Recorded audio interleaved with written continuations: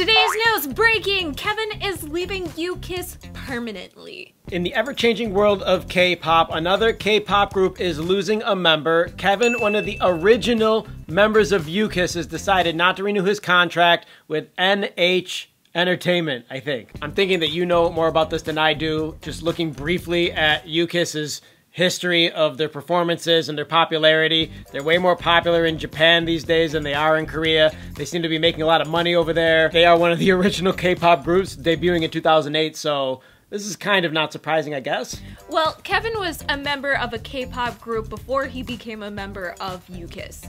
So, to give a brief situation, a brief history of Kevin, he is from California. He's 25 years old. He moved to Korea at the age of 15 to become a Korean entertainer. And from 2006 to 2008, he was a member of a K-pop group called Xing.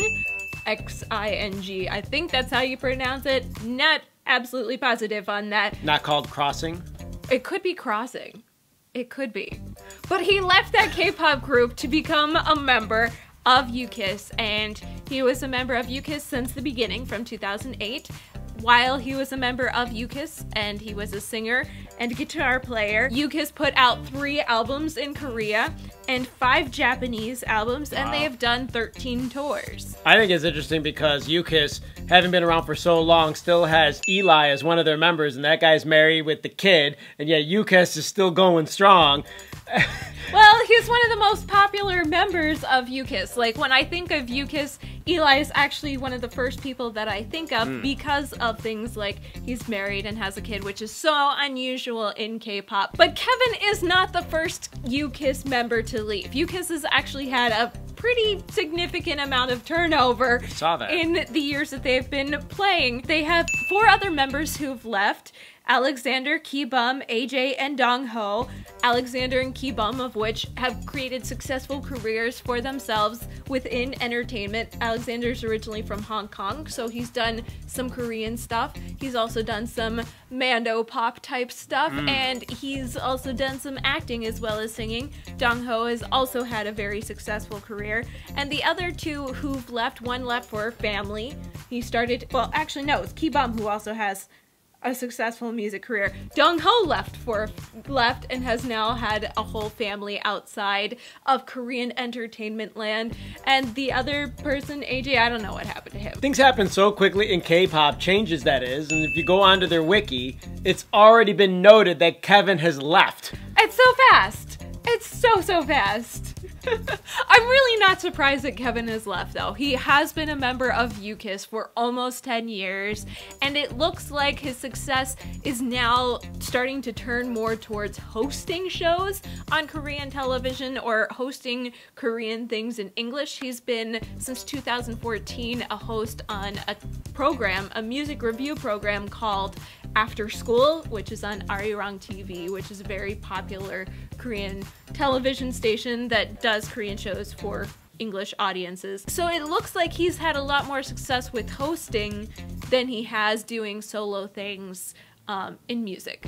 I just think K-pop needs to do whatever it needs to do in order to be successful. So, in for instance, going to Japan and doing live performances there and selling a lot of music there, I can see the allure, for instance, for Japanese teenagers that are interested in K-pop music and interested in seeing stars. They have more of an intrigue or mystique about them if they're from Korea than if they're from their own country of Japan. And Korea just seems to have the brightest and strongest entertainment right now in Asia. Yeah, they definitely are popular internationally, especially in Asia, because they've got this look about them and they're flashy and they've got all this nice stuff. But when I think about Kevin, that's when I think about why is he doing it? And there comes a point in time where are you doing it for the money or are you doing it because you really enjoy it and this is the direction that you want to take for the next seven years of your life? It does look like UKISS is going to continue on as a five member group. I think Kevin's going to be able to go over and make appearances in Japan anytime he wants as long as it's organized and have fan meets. They're going to do one last six member fan meet in Korea and Japan as well, I think. Nice. So you can get your last seeing UKISS as a whole together. Yeah, if you're in the neighborhood. Who's a member of UKISS? Did I say member or fan? Fan of UKISS. Who's a big fan of UKISS? Are you sad that Kevin's not going to be around anymore? Do you think that he's going to go on and do his own individual music pursuits? Would you support him in that? Do you think he's going to go get married and have a baby?